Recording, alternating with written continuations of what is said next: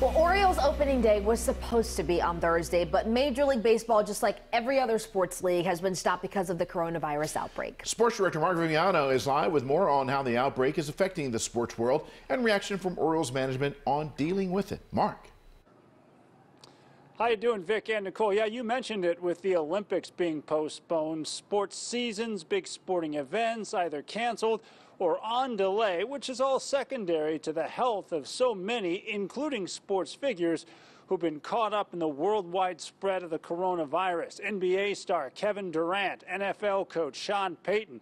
There have been a number of hockey and soccer players and three minor league baseball players from the Yankees organization who we know have all tested positive for the virus. Now, Orioles general manager Mike Elias says that most of his players and coaches left the spring training facility in Sarasota last week and they've gone to their hometowns, with the exception of some players from outside of the U.S. who deemed it safer to stay in place. Elias says no one in the O's organization is known to be infected with the virus to this point.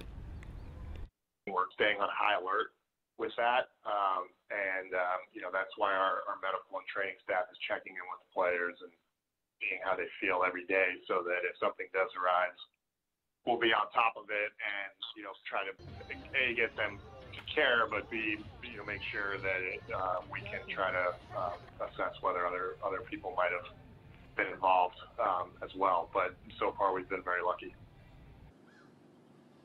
And for all, health, of course, is the number one concern. But to the question, when will there be baseball? Again, because of the situation, it's relatively unknown. Knowing that maybe late May is a most optimistic plan that they could be back, it all depends on the spread or containment of the virus. June or July seem more likely for baseball. But if you're looking for some good news, they do play pro baseball in Korea, and teams there are now reconvening for their preseason training as they get to start their season on a delay in mid-April. So they've, they've, they've certainly progressed in terms of dealing with the diseases there. So baseball in Korea, there's a start and some optimism.